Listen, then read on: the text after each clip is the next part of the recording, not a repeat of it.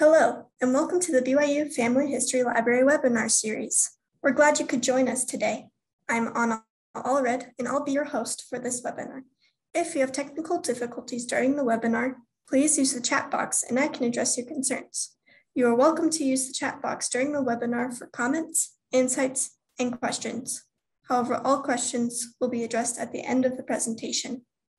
Our next webinar will be on November 3rd Researching the Great Northward Migration 1916 to 1970, the movement of 6 million African Americans with James Tanner at 5.30 p.m.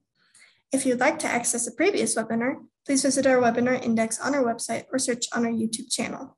All of our webinars are recorded and uploaded by the following Monday for your convenience. We also post links to recordings and other updates on our Facebook and Twitter accounts. For today's webinar, we are pleased to hear from Dave Obee, who will be giving a presentation on Canadian genealogy online. Dave Obee is a journalist and genealogical researcher who has written a dozen books and given more than 600 presentations at conferences and seminars in Canada, the United States, and Australia since 1997. He is editor and publisher of the Times Colonist daily newspaper in Victoria, British Columbia. He has worked as a journalist in British Columbia and Alberta since 1972 and has been researching family history since 1978. In 2012, Dave was awarded an honorary doctorate of laws by the University of Victoria for his work as a historian, genealogist, and journalist. He was a member of the Services Consultation Committee at Library and Archives Canada in Ottawa for four years. Dave is a columnist for Internet Genealogy Magazine and Your Genealogy Today's Mag Today Magazine, formerly Fam Family Chronicle. Dave Obee, if you're ready, we'll turn the time over to you. Great, thank you very much. We'll see how things work here. It's warning me that I have to stop your, your screen sharing, so here we go.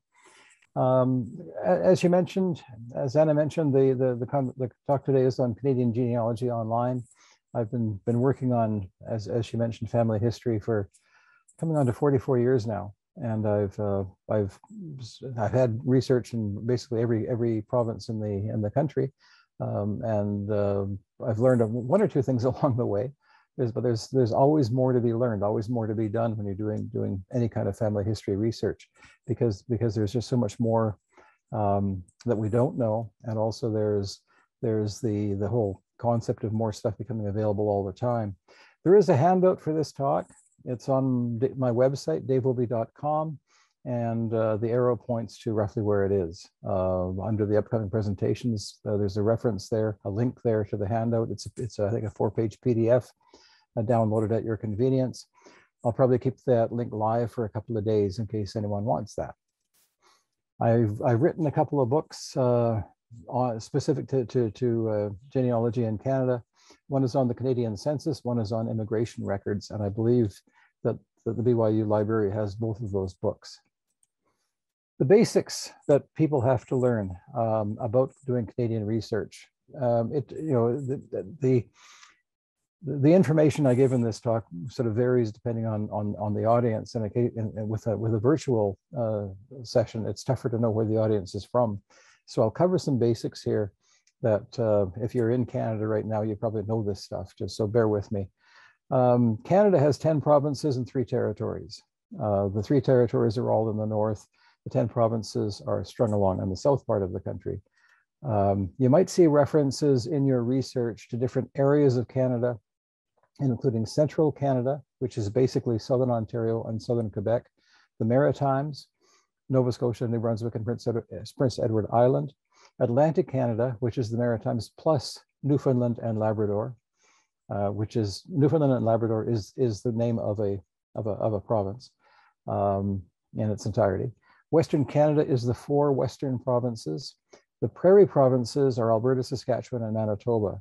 And this kind of thing comes up because there was migration from, say, Ontario in central Canada uh, to the prairies. And that would be the three provinces um, I just mentioned. And then the north is the three territories. Um, I don't meet a lot of people with roots in that area because the population is quite small. But that said, some people have have interest in that area because uh, the family moved there for a while, especially during the gold rush years in the late 1800s. You might also find references to Upper Canada or Canada West, which is today's Ontario, Lower Canada or Canada East, which is today's Quebec, and the Northwest Territories, bear in mind, until 1905, the Northwest Territories included Alberta and Saskatchewan. So just bear in mind some of the changes that have happened with, with uh, boundaries and so on over the years. The country, um, you know, as you know, sits, sits on top of the United States. The provinces are much, much larger than, than most American states, with the exception of sort of Texas and Alaska. Uh, but the population is pretty much sort of strung along the, uh, the border with the US. Um, the probably 90% of the population lives within 100 miles of that border. Uh, just you know, in terms of climate and so on, it's it's better living down there, basically, in that that part. Um, why bother with Canada? Uh, first of all, your own ancestry might take you there. Um, the border was fluid. People moved, move both ways, back and forth and back and forth. I've seen that many times in my family. Uh, branches of the families made different choices. I've got a lot of relatives in Canada. I've got a lot of relatives in the States as well. And when they came over from, from, from Europe, some, some went to Canada, some went to the States. Um, I've, I'm, I've, I'm born in British Columbia, lived most of my life in British Columbia. I have more relatives in Washington State than I do in British Columbia, uh, just because the way things have worked out over the years. Records in the other country might also provide important clues. That's because different information was required at different times by the, by the two countries. And um, uh, some, some records are available in one country that are not available in another country. An example of the kind of information you might find in Canada is that Canadian censuses required uh, information on the person's religion, um, which, which you don't find in, the, in, in American census records. And there are several notable people that are worth, worth, worth uh, mentioning. Raymond Burr, who was Perry Mason and Ironside and so on, was born in New Westminster, British Columbia in Canada. Uh, his uh, father was uh, was Canadian. His mother was was uh, was American, I believe, born in Chicago. Which one one small example of, of who you might find. Gladys Smith. This is one of the more famous Canadians to make it make it big in Hollywood. Gladys Smith, uh, born in in Toronto and uh, Gladys was went by another name. She was America's sweetheart. Um, and what people don't necessarily realize is that America's sweetheart was really Canada's sweetheart first. Uh, as Mary Pickford, she became known, known as America's sweetheart. Things to remember when you're doing research in Canada. Civil registration is by province, um, not nationally, it's by province. The most recent national census is from 1921 you will find a census for uh, the prairie provinces, the three, the three prairie provinces for 1926. The reason they did those extra census uh, censuses in between the national ones was because the population of the prairies was growing so rapidly. They had to keep up with uh, with the count of the people because the, because the census is what triggered things like representation in parliament plus spending on on services and that kind of thing. Um, and that's, that's for 1926. It is available on Family Search. Um, the 1931 National Census will be released in two years.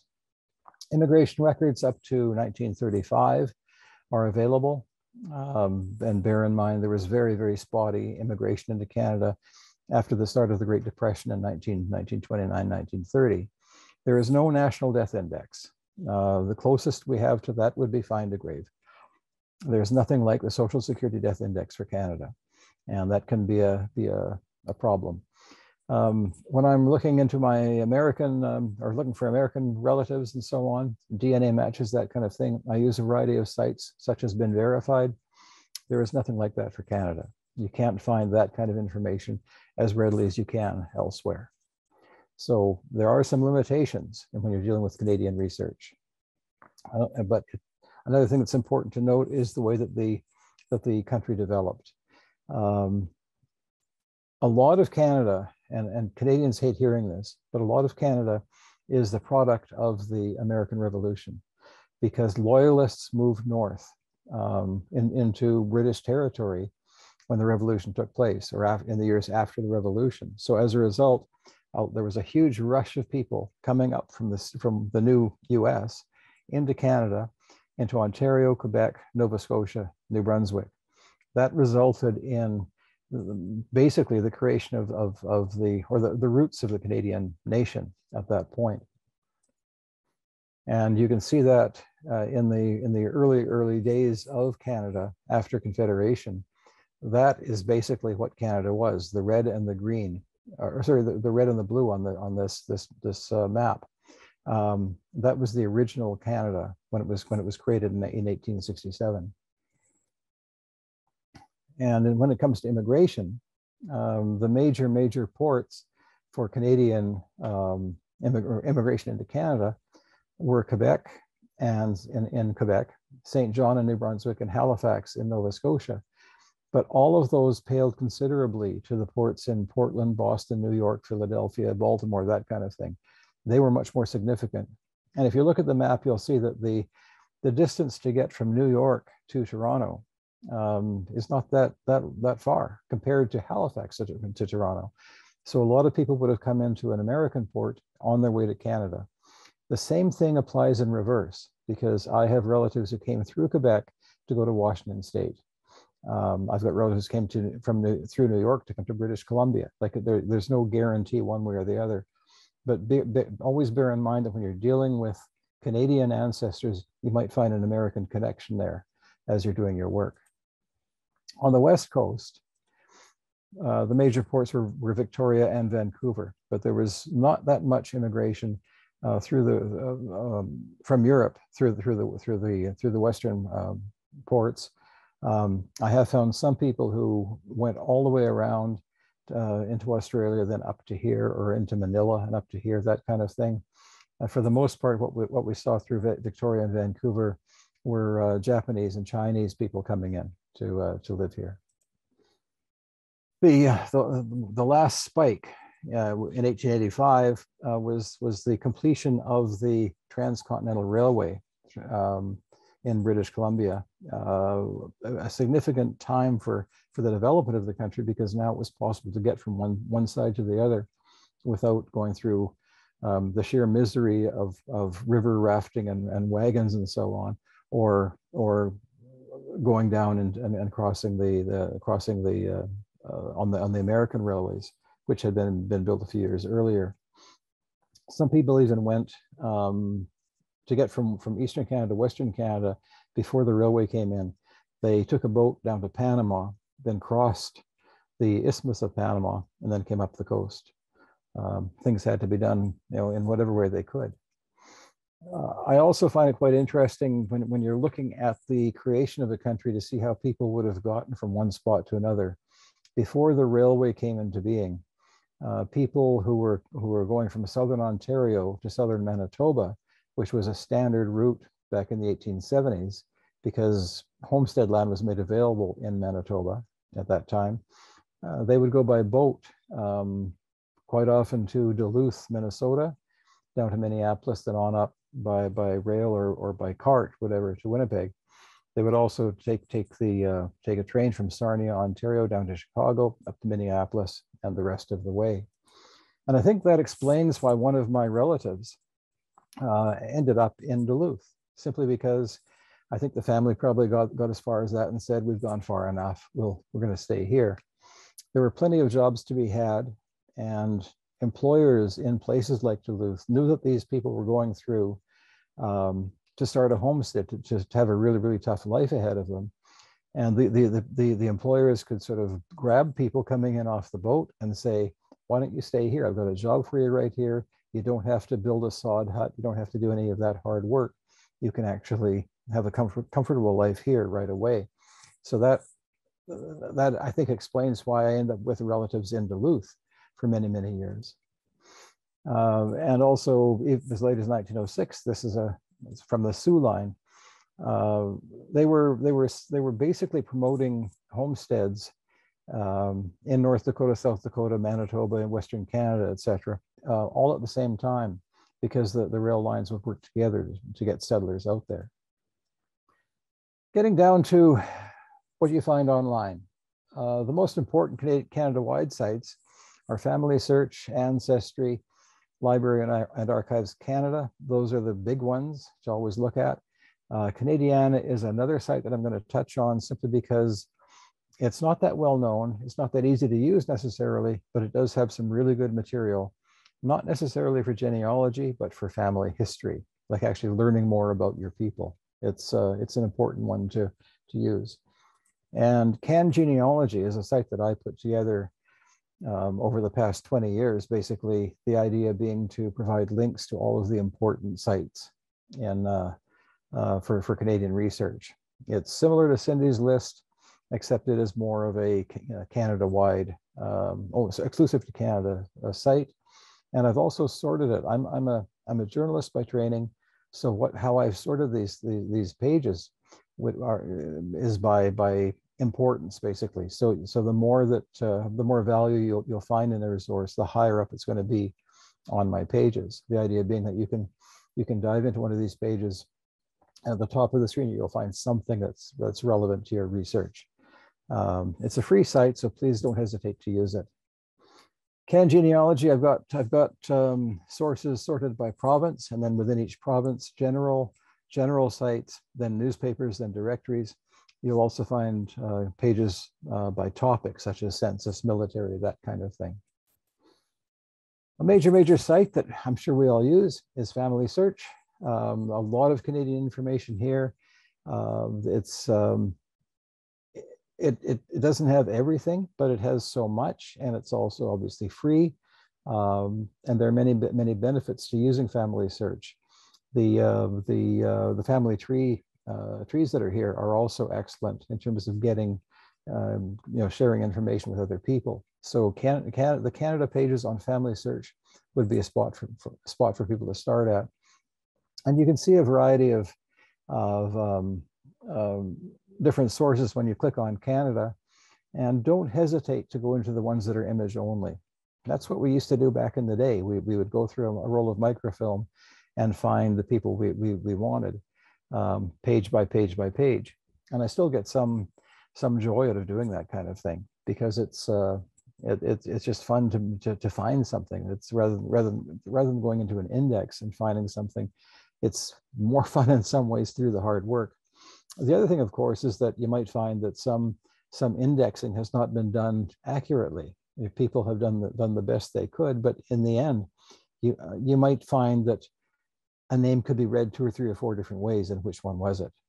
I I indexed many many years ago the census for the Lethbridge area in southern Alberta, and I've had four people. I put it on my website. I've had four people since then contact me to say you got these names wrong, and and uh, they were right. I, I, I had a choice of how to how to read the name, and uh, um, I, I, chose the wrong the, the wrong direction. So when you're dealing with with images only, that's you going in there and you looking at all of these names. You might be familiar with the names, um, and maybe you'll find something that you won't find by relying on someone else's index. The BC archives. This is one example of why family search is good.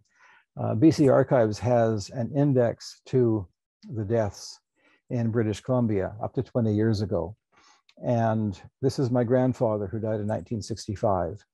Um, fairly basic information here in the index, um, the, the, the date of his death, the place of his death, his age, and his name, and then a link to the actual registration, which is handy. If I go to family search, I find the same information plus his birth date, um, plus his birthplace, plus his spouse's name. So there's more information being shown. They're, they, they drew, the, the, the indexers at Family Search drew more information off that original document than the BC Archives did. So as a result, there's more information available to you. It's easier for you to pin down um, information about about someone if, if with all of this this information available um, you can't always get get copies of the of the death registrations, but the, there can be enough um, details in, in in this kind of thing. But again, that's on family search. So so use that one if you possibly can, and then go back to the other one to to, to see if there's an actual registration. That's what the registration of death looks like in British Columbia. They're available for for some provinces. Um, um, BC, BC has the best collection online. You can get them easily from other provinces, other, but some provinces are more, more of a problem. Uh, go to go to Ancestry. You'll see the Canadian uh, card catalog. Uh, the same kind of thing for, for any other country. Uh, there's a lot of material on Ancestry. The indexing is not always as good as it is on Family Search. Library and Archives Canada also has a lot of material online.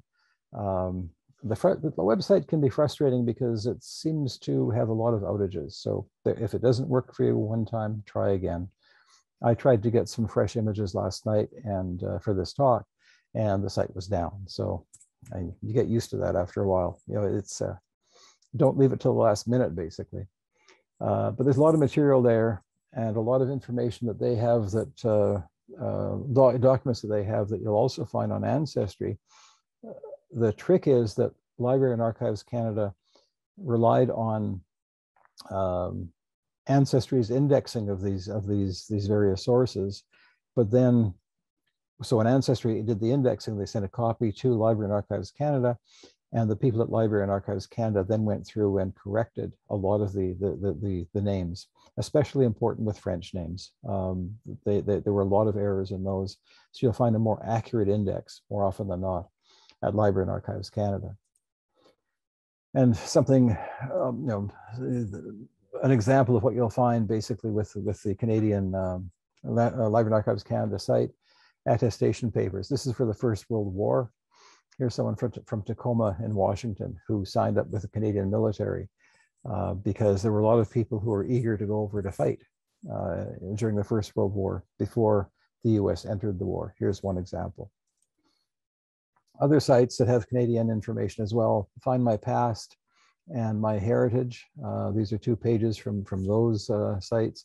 There's not a lot on those two sites for Canada. It's mainly, mainly the census and uh, you won't find much there that you won't find on Family Search or on or Ancestry or Library and Archives Canada. Um, I'm hoping that things get better at some point, but so far I'm not seeing a lot that I can't find somewhere else. Canadiana is a is an important site. Canadiana has information that is not found on the other sites. The problem with it is it can be very very tough to use. So bear that in mind when when you uh, when you when you have trouble with it.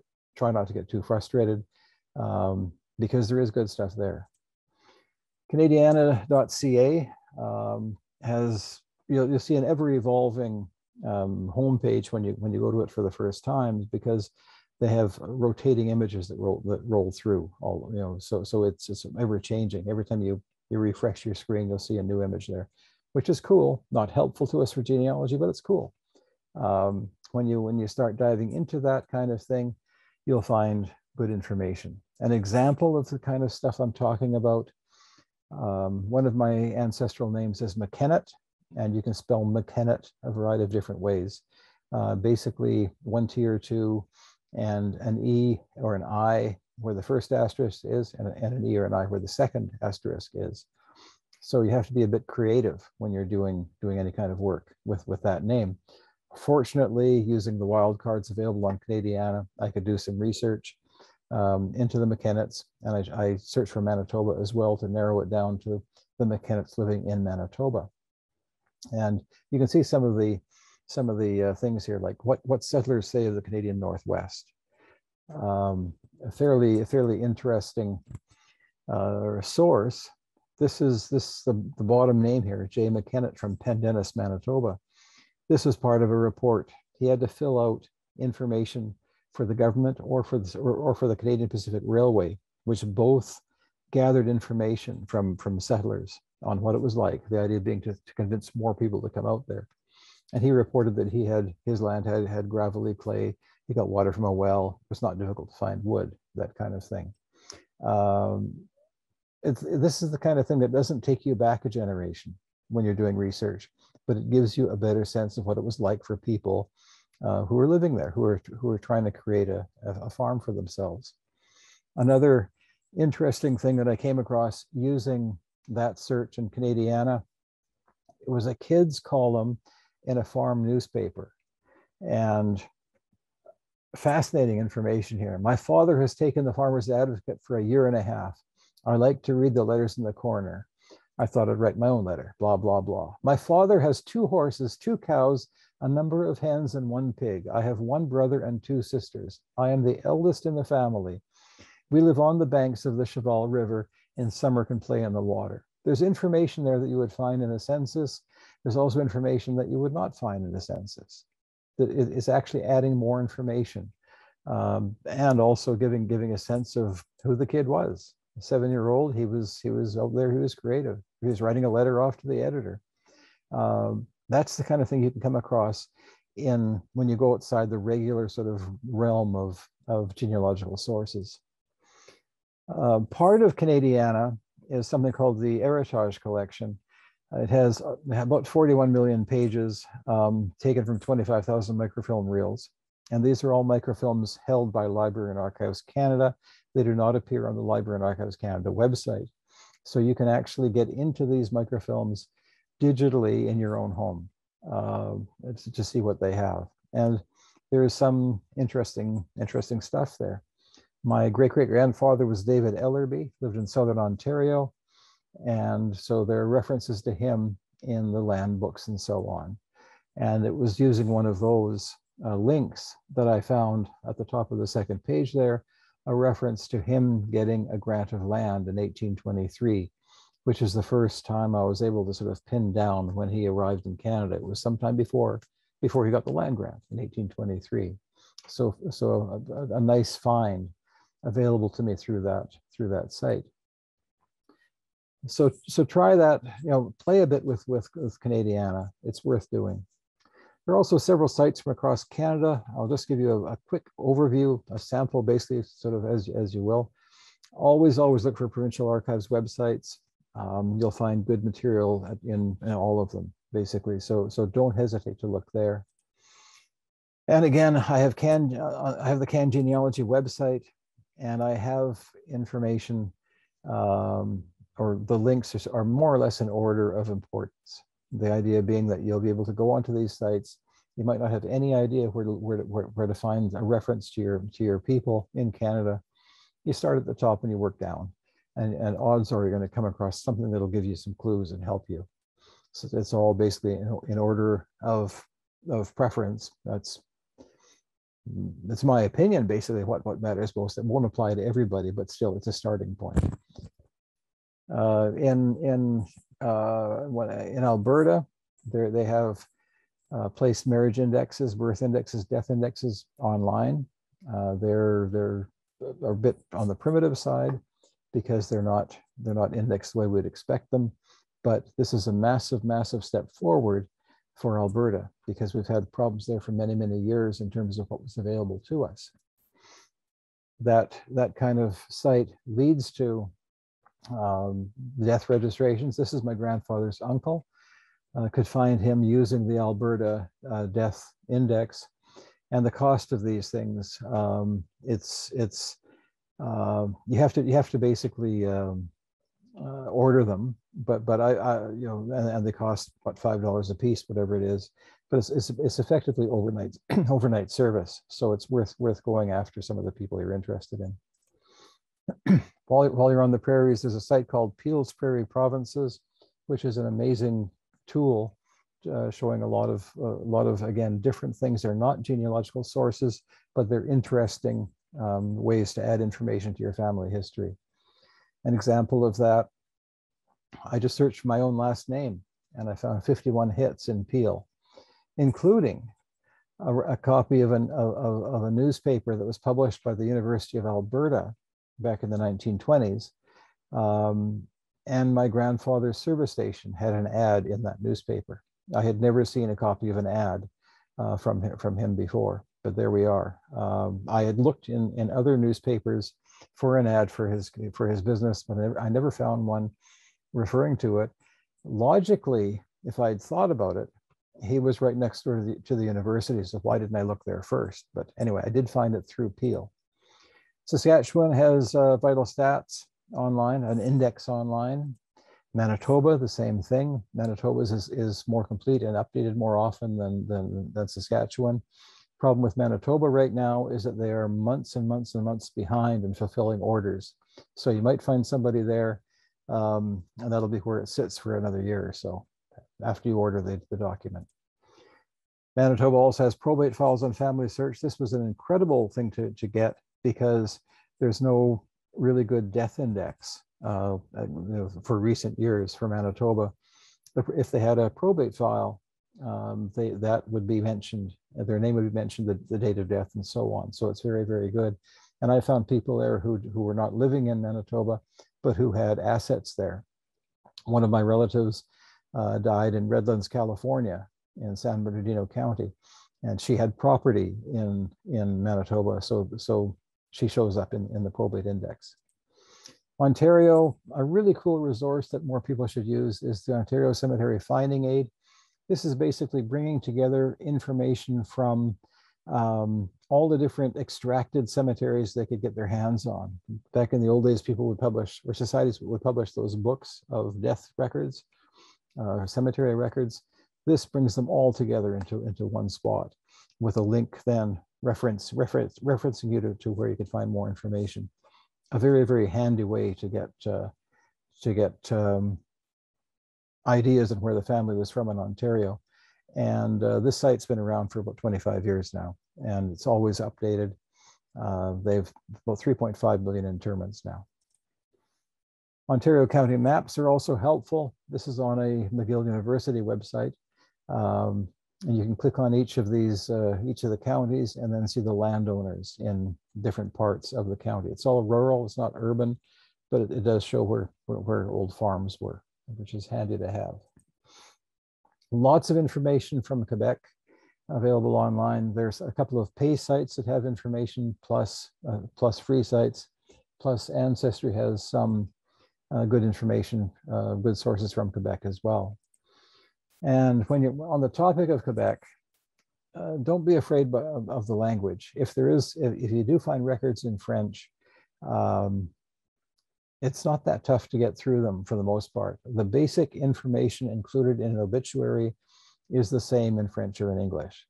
You just have to go through and, and, and, and decide what, what it's actually, what, what information it's telling you, because uh, the information is, is very similar. Going through this one, this for, for, for, for my, my my uncle's um, wife's family. Um, a lot of information here that uh, um, is is really really straightforward. You can go through this and determine how many kids there were, the names of the kids. You can figure out who who the pallbearers were, and so on. Just looking for the typical information you'd find in an obituary. So don't be afraid of that. New Brunswick, vital stats again, a, a great index site. Nova Scotia, the same thing. Prince, Prince Edward Island has a site that's done by basically some really, really keen people. Um, they've, they've gathered as much information as they could about Prince Edward Island from a wide variety of genealogical sources and put it all onto one site. The idea being that people can get a sense of, um, of what there is. I've, I, the population of Prince, Prince Edward Island has never been that huge. Uh, it's a small island, but the, I have used this site to find more information on uh, on family members. Even I even tracked down uh, a birth family um, for a friend of mine using information on this site. I was able to figure out what what kind of resources I should be looking at and what there was available to me. So it's, it's worth doing. A couple of a couple of good sites for for Newfoundland as well. Newfoundland and Labrador. Uh, the is the proper name of the of the province. And again, all of these links you'll find on CanGenealogy. So rather than going through all of them individually, just I'm pointing you towards those, those sites. And again, you'll find a lot of interesting connections um, with Canadian uh, researchers uh, or Canadian, Canadian family members and, and, and links to, to famous people and so on. Nora Hendrix, who died in Vancouver at, at 100 years of age, was Jimi Hendrix's grandmother.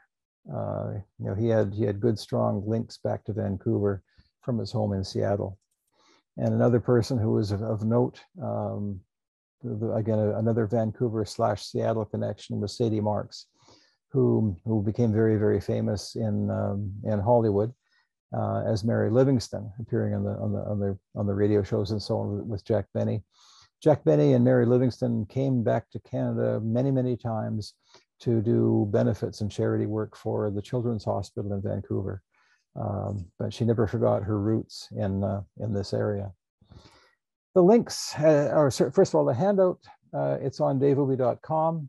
Um, so you'll find four pages there that might help you in terms of in terms of Canadian research and links you'll find on CanGenealogy. So don't hesitate to use that site.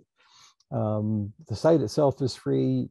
Um, it does link in some cases to pay sites, but um, there aren't there aren't that many basically that are that are pay sites. Most are free, and even if it is a pay site, the, the, the idea here is that it will get you some get you started towards the direction you have to go when you're dealing with uh, with uh, Canadian research. And with that, I tried to rush through this. We could have more more time for questions. So um, I'm game. If there are any questions coming, off we go. Um, there is one question from Peter asking, how can I find my Swedish ancestor? Oh, how can I find whether my Swedish ancestor got naturalized in Canada? Uh, what's the time frame? 544. No, no, no, so, sorry. What the the uh, what what year would the person have been naturalized? Oh, I see. Yeah, Peter, if you could uh, send that information in the chat or Q and A, that'd be helpful. Thank you. Yeah, basically until until records before 1917 are pretty 1899. Okay, you might have trouble then. Um, records before 1917 are, are, are, are fairly flaky. After 1917, it was it was uh, um, the rules were made stricter and there's there are better indexes available. Uh, 1899, you might find a reference in, on, on the census or whatever, that kind of thing. Um, how old was the person? Um, uh, like would they appear in, in, in a voters list later on? You had to be a Canadian to be in the voters list, but that started in 1935. That's when, they, when those are available. Uh, but you might find for 1899, you might find a reference in a local courthouse uh, to, to something being done. It depends where they were in Canada. He was born 1886, so he'd be probably under his parents then in terms of being naturalized. Um, you might find him uh, how sorry to ask one more question here did he did he remain in canada like if, if he remained in Canada, you know, uh, to, to, the point where he would appear in the 1935 voters list, that would be a sign that he had been that he'd been naturalized. There was no Canadian citizenship as as as as it is generally understood until 1947. When you were naturalized, you simply became a subject of the British Crown until 1947. He went to New Zealand, not sure when. Okay. Um, all you can be be looking for would be would be some sort of court record, I would imagine, and your at your uh, where, where whatever town they were in, and it would be under his parents, I assume, unless he came over as a as a child with someone else. So I'm not giving a lot of help here or hope.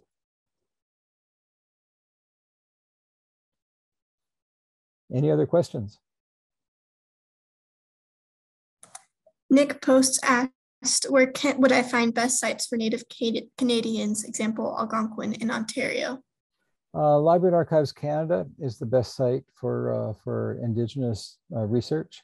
Um, a lot of information has been put together over the years, um, and there's a massive, massive effort underway to sort of get as much information as can be can be acquired uh, for for um, for like First Nations research. Start with Library and Archives Canada and take it from there. Um, I've got a, a, friend in friend in Saskatchewan who's done a lot of work on on um, on Indigenous ancestry as well, but that probably won't help you for uh, for Ontario. But but Library and Archives Canada first.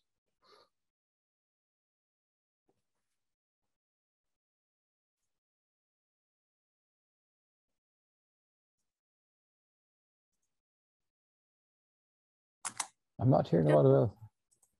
I'm not seeing any other questions. Okay. Um, so I think we can just go ahead and wrap it up then. Okay. Um, so just share my screen. Oh, wait, someone said oh, something in the oh, chat. Oh, yeah, there's one more. How would I find whether he came from from Sweden by himself? Look for passenger lists. Passenger lists for, for that period were were uh, are available, and they should be uh, you know, their, their index, whether he would have come through Canada or, or like New York uh, or whatever, we don't know. But uh, look for the passenger list. And the community he went to is probably probably relevant as well because um, would he have gone to a to an area that is um, has a lot of uh, Swedish people in it? Um, that was very very common in terms of uh, you know, mass migration. Uh, there were areas on the prairies in that time period. I'm assuming he went to the prairies uh, and that there are there are there, there there has been work done on the various um, ethnic communities that that were sort of set up on the prairies um, by the new arrivals. So check there, check the 1901 census for him. Uh, that would give his uh, his year of arrival in Canada. Um, sometimes that information is accurate, sometimes it's not. Um, but check for the year of arrival in Canada, and also check for the passenger lists because they are available for um, from 1865 on. Uh, they're not perfect. No, no source is perfect, but they should be. That should be a help in terms of getting information on him.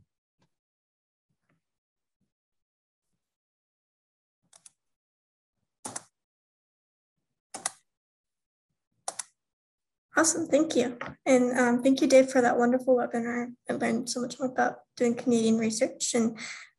Thank you, everybody, for joining us today. Um, we hope you will join us for our next webinar, which will be on November 3rd, Researching the Great Northward Migration 1916 to 1970, the movement of 6 million African Americans with James Tanner. A recording of this webinar will be made available next week. And you can view that on our YouTube channel or our website. If you have any comments or questions, you can always email us at fhl underscore webinars at byu.edu or follow Facebook and Twitter. Thank you and have a wonderful week.